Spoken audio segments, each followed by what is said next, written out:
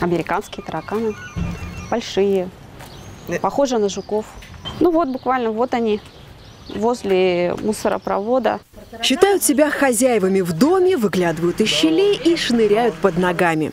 Дом на Ударной за планировку прозвали «Китайской стеной». Здесь, по мнению жителей, самое большое скопление насекомых в Бийске.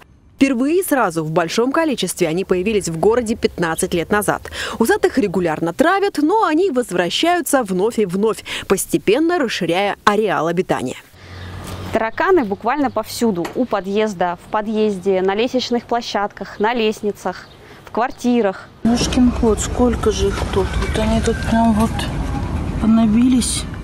При этом увеличение популяции тараканов, которые хоть и зовутся американскими, но чья родина Африка, санэпидемстанция не отмечает. Говорят, заявок и сейчас, и 10 лет назад поступает одинаковое количество.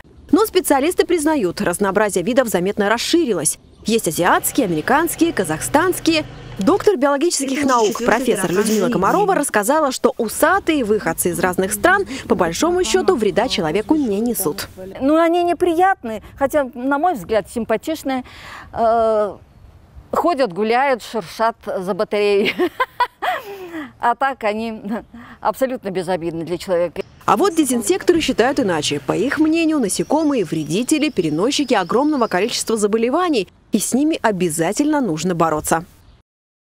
Особи, кстати, они очень быстро разводятся, казахстанские, американские их называют, они очень быстро дохнут. Наши прусаки – это самые стойкие. У них щетинистый слой не становится они только травятся через пузико, скажем так, то есть обработала поверхность я ядом, он должен проползти по этой поверхности, и через кишечный тракт у него пройдет отравление. К сожалению, когда щетинистый слой толстый, хоть 25 раз он там приползет, то есть ему надо окунуться там полностью, понимаете? Это перерождение уже насекомого. И биологи, и дезинсекторы уверенно сходятся в одном. Тараканы покинут квартиры только в одном случае – тотальном соблюдении санитарных норм в здании, отсутствии еды, а главное – при полном отсутствии воды. Похоже, бичанам и дальше придется жить с тараканами. Елена Кузовкина, Евгений Жутов, Илья Петков. День с толком.